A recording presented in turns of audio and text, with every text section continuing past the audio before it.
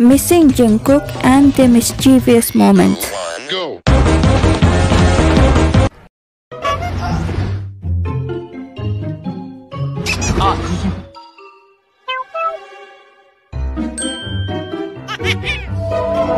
Ah.